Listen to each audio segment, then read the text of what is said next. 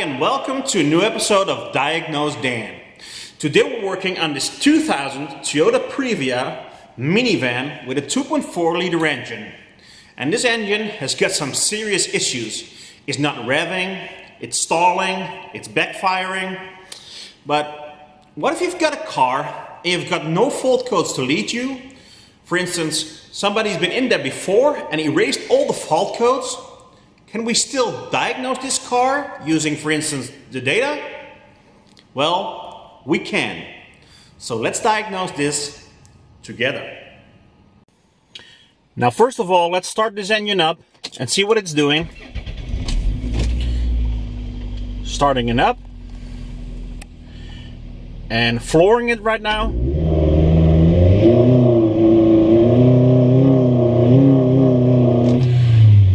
As you can see, it's not revving. Let's try again.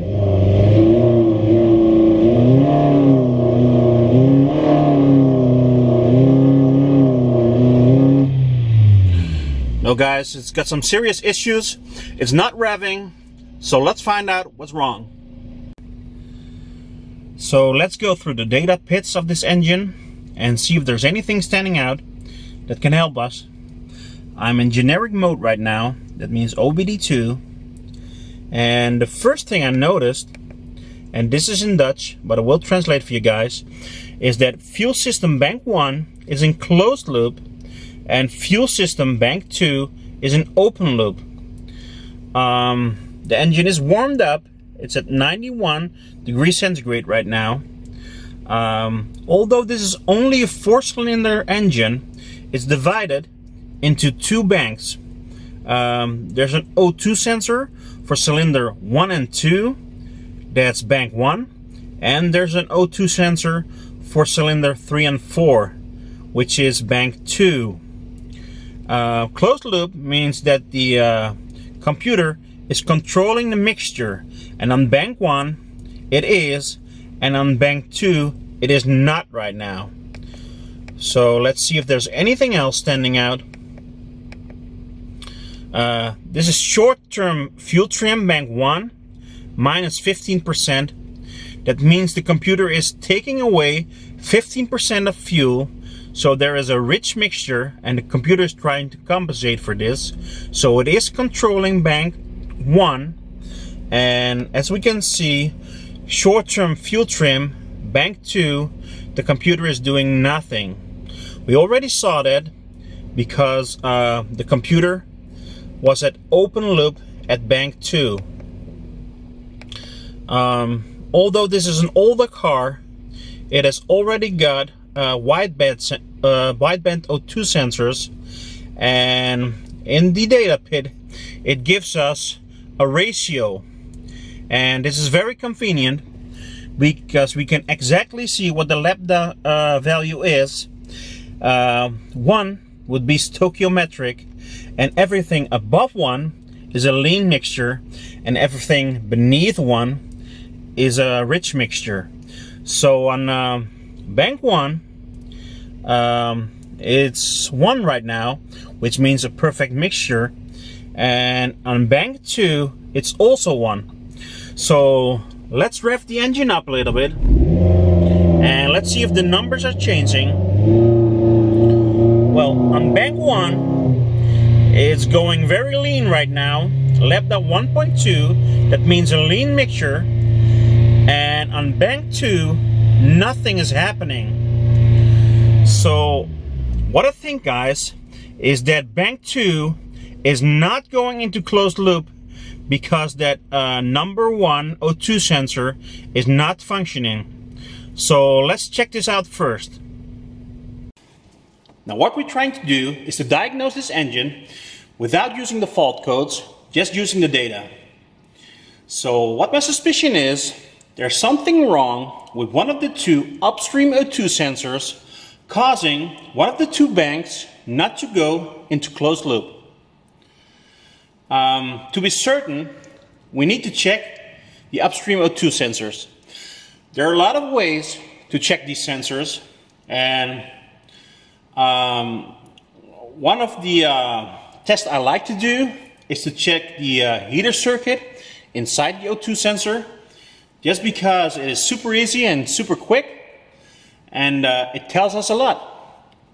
So what we need to do is to disconnect both upstream O2 sensors and usually the heater circuit are uh, two colors uh, two colors of the same kind so in this case there are two black wires and for the O2 sensors to heat up, current needs to flow through the sensor. So uh, the sensor cannot be open. So to check this, we need our uh, multimeter on continuity, on ohms, and uh, check the continuity of the heater circuit inside of the uh, O2 sensor. And this sensor, there is continuity. So this heater sensor uh, heater circuit inside the sensor is okay. And this sensor, let's check again. And inside this sensor, there is an open, so current cannot flow through the sensor. So the uh, sensor won't heat up properly, um, and it won't function properly. And that's probably causing one of the banks not to go into closed loop. So uh, we need to change out this upstream O2 sensor and see if both banks will go into closed loop.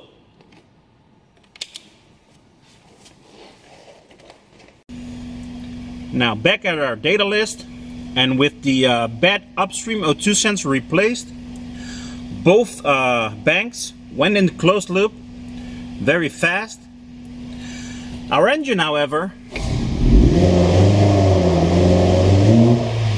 is still not revving. And uh, I was expecting this. I think we've got another problem. But I wanted to use the fuel trims to diagnose our problem. And without the engine going into closed loop, we cannot use the fuel trims. So um, you can see now both on bank 2 and on bank 1, both fuel trims are controlled. So let's customize this list and continue our diagnosis. I customized the data list and on top we've got the engine RPM and underneath we got our short-term fuel trims of bank 1 and bank 2 and the engine is idling right now. And at idle it's pretty happy. Fuel trim's looking good. So let's try to rev up the engine and see what the short-term fuel trims are doing. So uh, let's rev the engine.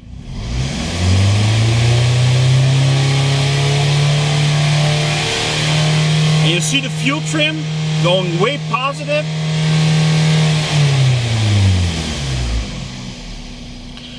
What just happened is when I rev the engines, these are the RPMs, um, the fuel trims went way positive, positive 20%.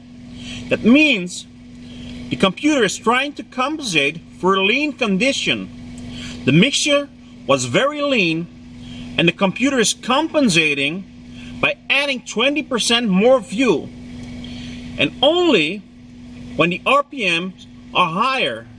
So in high RPMs, the mixture is becoming lean. So let's watch again.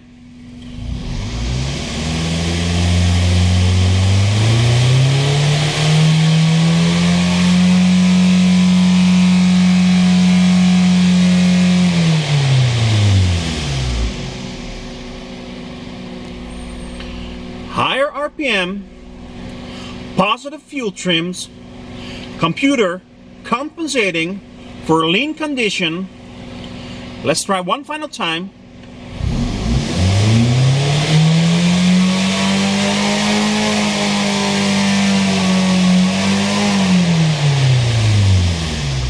High RPM, high positive fuel trims, computer compensating, injecting 20% extra fuel trying to compensate for a lean condition. So what we know from the data right now is that we've got a very lean condition at higher RPM. Could this be caused by an air leak? Well, I don't think so. Because an air leak would cause the uh, fuel trims being worse at idle and get better at higher RPM. So uh, what could cause this? Well, I've got two main suspects right now. A, being the fuel pressure, and B, being the mass airflow sensor. The next thing I want to do is to check the mass airflow sensor and it's way in the back over here and I've got the signal wire back probe so let's see what the waveform looks like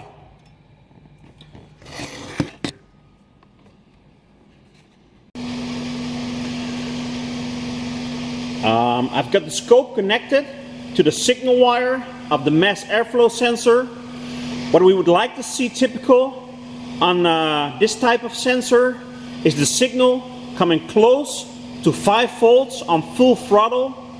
So uh, I'm gonna hit the throttle next and uh, you guys watch the scope, the red line over here. If it's gonna come close to the 5 volt mark line over here, so uh, I'm gonna hit the throttle right now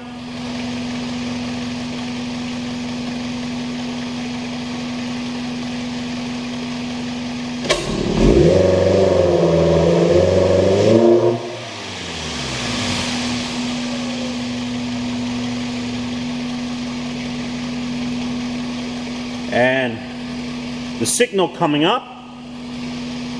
Um, let's pause it for a moment and analyze the signal. So this is the recorded waveform of our uh, mass airflow signal and over here I hit full throttle and it should have come close to the 5 volt line over here and as you can see, it did not. So let's see what the highest voltage actually was. And it was over here. And the voltage was, at the highest point, 2.7 volts. So uh, that's not nearly enough. That's about half what it should be. So uh, let's take a closer look at this mass airflow sensor. Well, this is our actual mass airflow meter and there's a little hot wire inside and I want to use this tiny camera to show you guys what it looks like. And I hope you guys can see this but it's very very dirty. So I'm uh, gonna take a little cleaning agent a little pick and some patience and I will try to clean it and see if we can save it.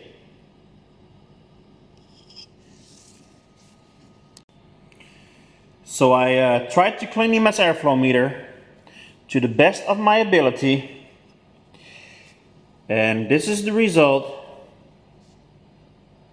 A very, very clean hot wire.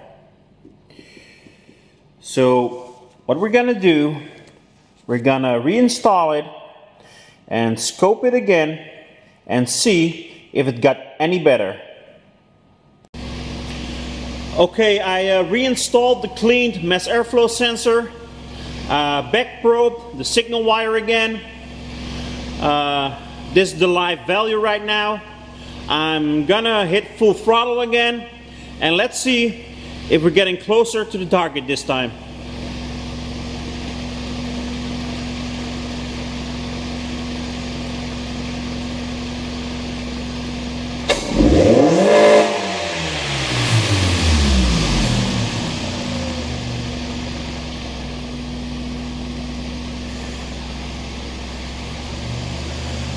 Okay, signal coming up. Let's uh, pause the scope and analyze the waveform. This is the recorded waveform of our uh, airflow sensor signal and you can see right away it almost reached our mark so uh, it's a lot better than before so uh, let's take a look at our fuel trims right now the first thing I noticed inside the car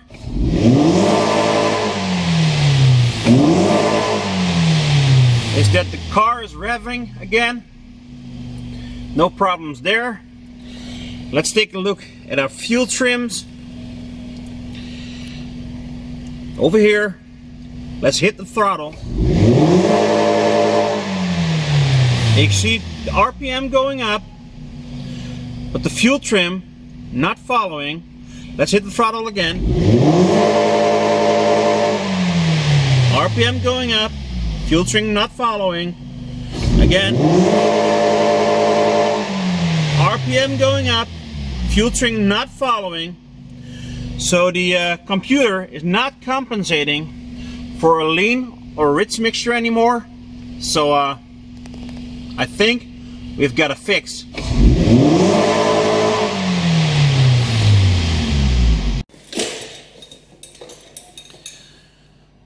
so we did it we fixed the car without using the fault codes. Fault codes can lead you into a good direction, but they can also lead you into a false direction. A lot of times when cars come into my shop, another mechanic has already looked at it and they pulled plugs or hoses or connectors and uh, created fault codes that weren't there in the beginning. So always keep watching your data. If you want to learn more about fuel trims, about waveforms, about scopes, about fixing cars, please subscribe to my channel and you will get a notification each time I post a new video.